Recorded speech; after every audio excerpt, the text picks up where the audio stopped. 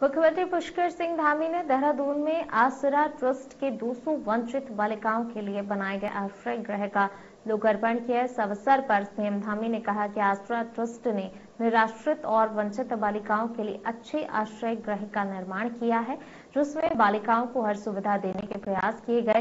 उन्होंने कहा कि जो अपना जीवन दूसरों की सेवा के लिए समर्पित करता है, उनका जीवन सफल होता है। हमारी ये बालिकाएँ अपनी शिक्षा सुगमता से ग्रहण कर सके। उनके लिए अपनी शिक्षा को आगे बढ़ाने में ये आश्रय ग्रह मददगार साबित होगा।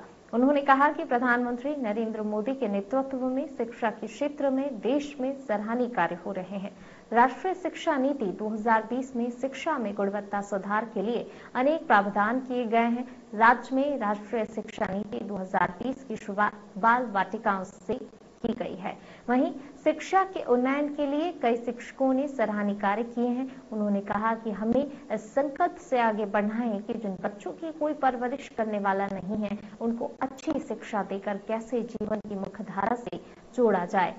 एन न्यूज़ की डेस्क रिपोर्ट। और आसरा ट्रस्ट ने जहाँ की छोटी जगह से इस काम को शुरू किया बच्चों से शुरू किया फ़र्स्ट टाइम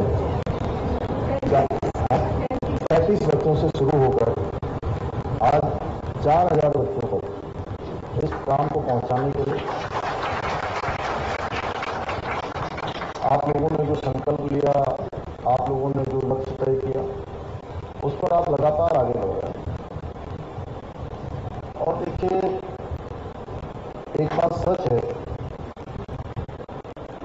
कि लोग हम इस, मनुष्य की योनि में आते हैं तो कई बार सेल्फ सेंटर्ड हो जाते हैं।